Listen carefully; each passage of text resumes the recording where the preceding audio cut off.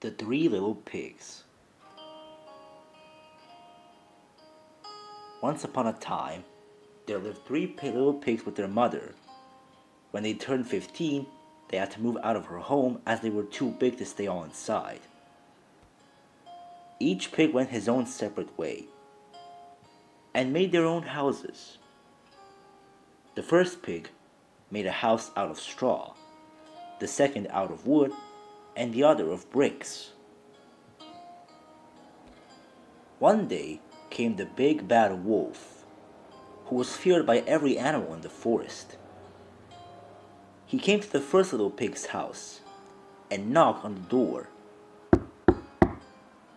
Little pig, little pig, let me come in. No, no, by the hair of my chinny chin chin, replied the pig. I'll huff and I'll puff and I'll blow your house in, said the wolf. And he huffed and puffed, and the straw house went down. Then the wolf came to the other pig's home, knocked on the door, and said, Little pig, little pig, let me come in. No, no, by the hair of my chinny chin chin, said the pig. I'll huff and I'll huff and I'll blow your house in, said the wolf. And the same thing happened again, and the wood house went down. Then he came to the third little pig's house, who had made his house out of bricks. He knocked on the door and said, Little pig, little pig, let me come in. No, no, by the hair of my chinny chin chin, said the little pig. The wolf then said, I'll huff and I'll puff and I'll blow your house in. The wolf huffed and puffed and blew and blew, but the house could not go down. Little pig, said the wolf, do you know where, where there's the finest carrots and other vegetables? Where? said the pig.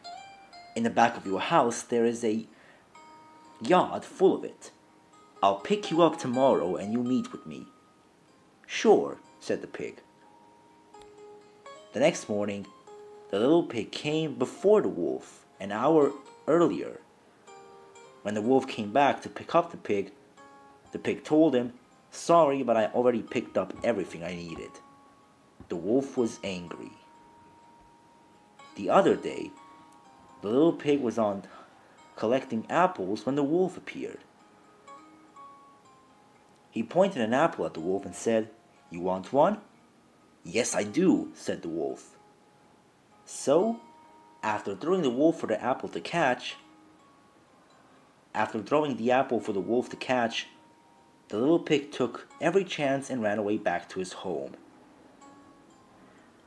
The next day, the wolf, mad, came to the pig's house and said, Little pig, there's a little fair up there on the hill. Would you like to come at five? Sure, said the pig. When the pig came earlier than the wolf, and when the wolf was coming, he put himself in a lid and rolled down the hill, scaring the wolf, making it to run away. The next day, Wolf, very mad he got tricked again, came to the little pig and told him, Little pig, I am not going to be patient anymore. You made a complete fool out of me the other day. I'm gonna get you by going down the chimney. The little pig prepared a big cooking pot, which was filled with blazing hot water. And he heard the wolf's footsteps on the floor, the roof.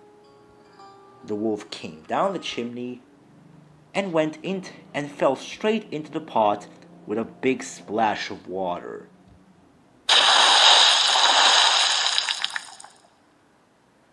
And that was the sorry end for the big bad wolf.